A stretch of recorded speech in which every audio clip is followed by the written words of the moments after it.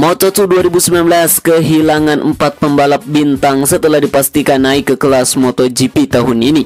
Tapi masih ada beberapa nama besar yang tersisa dan juga setidaknya ada 10 pembalap pendatang baru di kelas menengah ini.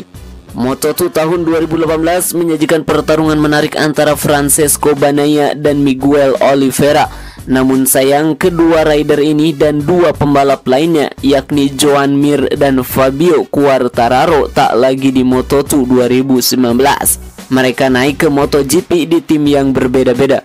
Tahun 2019 ini bintang-bintang di Moto2 sebenarnya masih ada yang senior maupun yang baru. Tapi untuk penggemar balap tanah air setidaknya akan ada tiga bintang yang bakal paling digemari di laga Moto2 tahun ini. Siapa sajakah mereka? Bintang Moto2 yang pertama ada Luca Marini. Adik Valentino Rossi akan menjadi rider utama di tim Sky Racing Team VR46. Sejak pertengahan musim 2018 lalu, Marini berubah menjadi pembalap menakutkan semua lawan-lawannya. Ia berhasil menang dan beberapa kali naik podium, termasuk banyak duel mendebarkan di beberapa seri terakhir. Tahun 2019 ini Luca Marini dipastikan menjadi ujung tombak tim biru Italia itu tentunya bertekad melanjutkan dominasi Bagnaia sebagai juara dunia.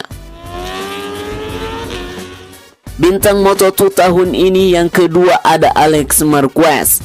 Dari ranah Spanyol ada satu nama yang sudah tak asing lagi. Dia adalah sang adik dari The Baby Alien, Alex Marquez. Alex kembali dipercaya memimpin tim Egg OO Mark VDS. Tentu ia tak ingin terus-menerus dikalahkan oleh pembalap Spanyol. Terlebih karena ia sudah lama menghabiskan waktu di kelas ini.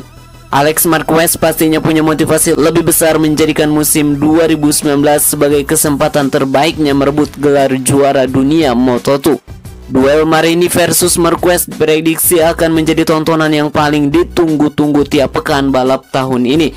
Tak bisa dimungkiri bahwa karena keduanya adalah adik dari dua bintang yang berseteru di kelas utama Valentino Rossi versus Mark Marquez.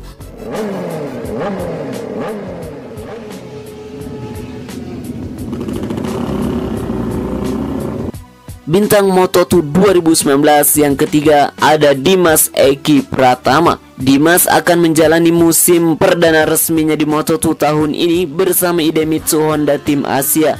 Ia adalah salah satu dari 10 pembalap pendatang baru walau berstatus rookie.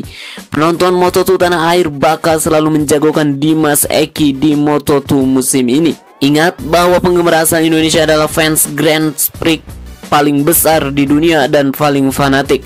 Tidak ada yang bisa mengalahkan semangat penonton dari Indonesia sejauh ini. Dukungan besar selalu membludak. Ini tentu salah satunya akan ditujukan kepada rider lokal yang jadi perwakilan Indonesia di kompetisi level internasional. Demikian sepenuhnya dikutip dari ruangansport.com.